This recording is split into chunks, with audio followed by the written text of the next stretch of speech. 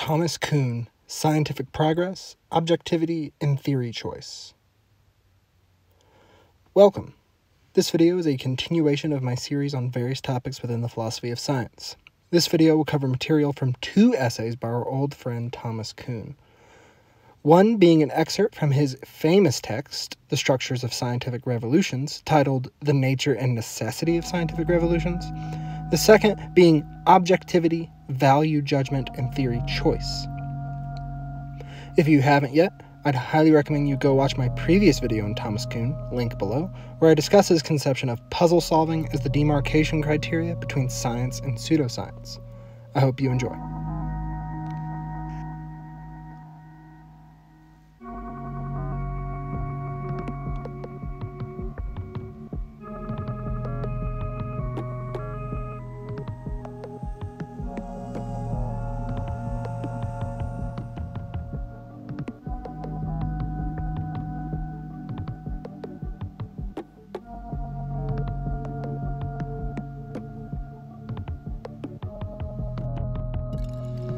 For Kuhn, the overwhelming majority of scientific practice is characterized by what he calls puzzle solving. This is the average scientist clocking in and clocking out on the daily and working on small, isolated problems within their field. The solving of such puzzles, increasing the scope and explanatory power of the theory, is the only sense in which science progresses for Kuhn. He would vehemently reject the notion that science progresses in a manner such as scientific discovery is getting closer to capital T truth. Those individuals working within a given field aren't undermining or questioning the major assumptions of their field. They take them for granted in a manner that could be characterized as dogmatic. Most, perhaps all, biologists would not entertain the concerns of someone who rejected evolution by natural selection, for instance. Nor should they. When teachers and professors instruct students in the field, they don't instruct them to question their core assumptions that they hold dear. These scientists and practitioners take the assumptions of their field, both explicit and implicit, for granted and work to solve small puzzles they present. A failure to solve a puzzle isn't indicative of a problem with the theory, but with the user. Just as a failure to solve a Rubik's Cube points to a shortcoming of the user, and not with the Rubik's Cube itself. These practitioners all operate within a particular paradigm. A paradigm can be described as a, quote, collection of diverse elements, ontological, epistemological, methodological, and axiological, that tells scientists what per- experiments to perform, what observations to make, how to modify their theories, how to make choices between competing theories and hypotheses, and so on. the more rare part of science for Kuhn one that is markedly non progressive, though the part that makes for much more entertaining pedagogy and storytelling is the extraordinary or revolutionary science. This is the type of science that you read about in little blurbs in high school. Albert Einstein coming along with his unique genius and overturning Newtonian physics, offering a whole new way to view the world. This is too ahistorical in understanding the development of science and how it is practiced for Thomas Kuhn. How the paradigm shifts or revolutions in science take place is precisely the question Kuhn sets out to answer in The Nature and Necessity of Scientific Revolutions. The use of the term revolution is quite intentional by Kuhn. He sees rapid and dramatic changes in scientific paradigms as remarkably similar to rapid and dramatic changes in political and social life. He sees both as being, quote, inaugurated by a growing sense that existing institutions have ceased to adequately meet the problems posed by an environment that they have in part created. Kuhn rejects the notion, voiced by Imre Lakatos, watch my video on him, link below, that for Kuhn, paradigm changes are entirely arbitrary and irrational results of mob psychology. He also rejects the idea that scientific revolutions are simply a product of rhetorical persuasion and not related to substantive differences in competing theories. As he describes it, quote, Every individual choice between competing theories depends on a mixture of objective and subjective factors, or of shared or individual criteria. It should be made clear that for Kuhn, debates between competing paradigms always end up being circular, Justifying paradigm A as opposed to paradigm B in terms of paradigm A won't be effective because paradigm B doesn't accept those terms.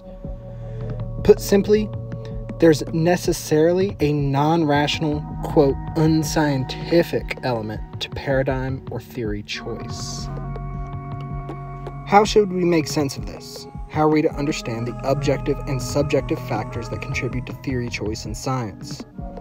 Objective in this sense means something like values shared within a scientific community. Of these objective values, Kuhn picks out five of good science, though it should be noted that this list is not exhaustive. These values play a role in helping us choose between different scientific theories. The first is accuracy within its domain. This basically means that a theory should be able to make predictions that turn out to be true. Secondly, he highlights the importance of consistency in the theory, both internally and externally. One, a, a, theory shouldn't contradict itself. Two, the theory shouldn't contradict related theories that are generally accepted within the scientific domain. Third, it should have a broad scope. That is, the logical consequences of the theory should extend beyond the initial observations, laws, theories, and sub theories. Another way to put this is that the theory should have surplus or extra content. Fourth, a commonly held notion, scientific theories should be simple, or at least as simple as possible. For Kuhn, this means that the theory should be unifying, it should bring seemingly random and disparate phenomena into the same fold. Finally, Kuhn makes note of the importance of fruitfulness in science. As he describes this aspect himself, quote, a theory should be fruitful of new research findings. It should, that is, disclose a new phenomena or previously untold relationships among those already known. I'll note here some overlap between Kuhn and Lakatos. For more details, please watch my video on Imre Lakatos, link below. But these values, when deployed by scientists, run into two types of problems. The first being that two different scientists applying the same criteria, say accuracy, could legitimately differ in exactly how they apply said criteria, and then could come to different conclusions regarding which theory to endorse. Secondly, there's the problem of weighing different criteria in relation to another. Say theory A is more accurate than theory B, but the latter is more consistent. As Kuhn describes it, quote, perhaps they interpret simplicity differently, or have different convictions about the range of fields with which the consistency criterion must be met. Perhaps they agree about these matters, but differ about the relative weights to be accorded to these or to the other criteria when several are deployed together. Beyond these shared or objective criteria that influence theory choice, there's the subjective factors that influence theory choice as well. These would be more like personality dispositions or cultural influences that would make one more open to one theory over another. Perhaps one scientist personally valuing originality and creativity more than other scientists would make them more likely to take a risk and jump aboard a potentially paradigm shifting theory. As for cultural influences, among others, Kuhn cites the influence that German Romanticism had in predisposing those influenced by it into accepting the conservation of energy theory, Kuhn's point here, to be explicitly clear, isn't that theory choice is an irrational or arbitrary choice dictated by culture and individual or mob psychology. It's only that theory choice is determined by a mixture of both these objective and subjective factors. The latter he sees as being an under theorized aspect, which explains his emphasis on it. He rejects the notion that we could develop some sort of algorithm that could do our theory choice for us. There's not some universal criteria we could use to do our theory choice, just as we don't have a computer that could tell us how to organize socially and politically. A quick recap. For Kuhn, science is not progressive in the sense folks often talk about it in. Where most science fanboys talk about scientific progress as getting us closer to truth, Kuhn vehemently rejects this. While the puzzle solving activity of scientists grows or accumulates with the solving of more and more puzzles, and this would be considered progress for Kuhn. Scientific revolutions for Kuhn are objectively non progressive. They come along and flip over the table, so to speak. He would regard the histories we tell about new paradigms building on older ones as fanciful pedagogy that ignores the actual messiness and complexity they try to describe. Now, while some have, accurately mind you, described Kuhn as a kind of relativist, he certainly is. That being said, Kuhn doesn't wholly reject the notion of scientific objectivity. A better way to put it would be that he displaces scientific objectivity. He rejects the idea that objectivity lies in some one to one correspondence between a scientific theory and the world. He advocates the notion that objectivity is found in particular scientific communities in intersubjective agreement and shared values. Lastly, theory choice, that is, choosing between competing paradigms, isn't some wholly rational or objective process.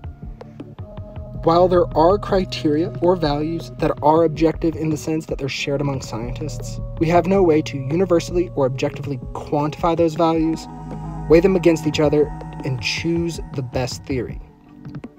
This doesn't even mention the social and historical situatedness that will channel us towards one theory over another. While this conception of science has and will continue to ruffle the feathers of some, it is very persuasive and has had vast influence within the philosophy of science discourse. Interestingly enough, while Kuhn can accurately be described as a kind of relativist, in actuality, he is urging us to have a materialistic and down to earth conception of what scientists are actually doing when they do science. If we're going to understand what science is, we should look at how scientists behave. We should look at them as an object of inquiry. Many people when thinking about science, do so in a very unscientific manner. We have to observe the scientists. Like, seriously, look at them. If you observe the scientists, you'll very likely see that science is a mode of community life. It is a social institution people participate in. Just as other modes of community life, such as political structures or the choice between coffee and tea, are not the product of wholly rational decisions, so, too, theory choice in science is not a wholly rational endeavor. I'd like to say thanks for watching. Special thanks to my patron Ryan Lindsay. Your support means more to me than I can express with words. If you'd like to become a pa- patron yourself and support the future production of these videos, support me on Patreon. Links below. Also, check me out on Facebook and Instagram for additional content. Again, Thanks for watching.